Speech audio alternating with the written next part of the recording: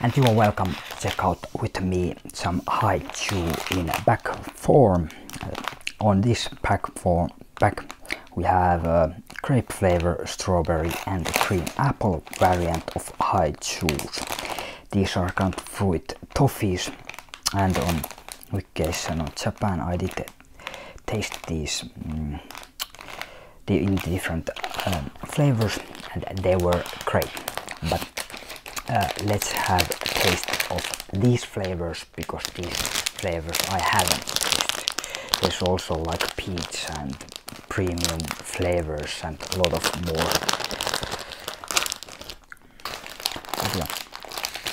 The smells wise it gets kind of unique and these are one of for me one of the better candies from Japan but these are kind of cool little package themselves and there is kind of some kind of phrases in package happy juice or something. That um, there is the strawberry grape and apple. There's little picture of the fruit itself or berry. But yeah let's start with strawberry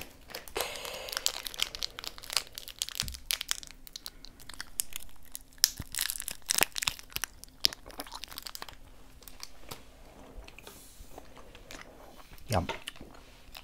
These are very fruity and not too hard but very as they say in the name Hi-Chew these are very firm and good soft uh, fruit toffees.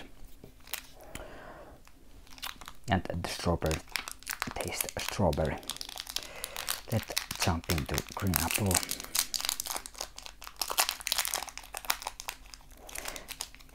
and as they say in the packaging there is a white center and uh,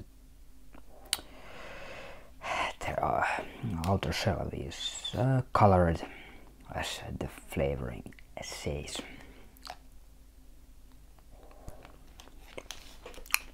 Yeah.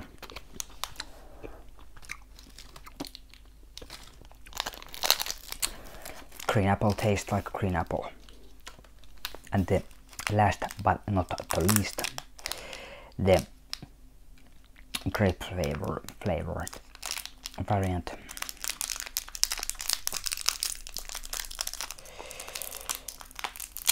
These are quite hard to open, for me at least. But hey, finally we get to open it and let's have taste.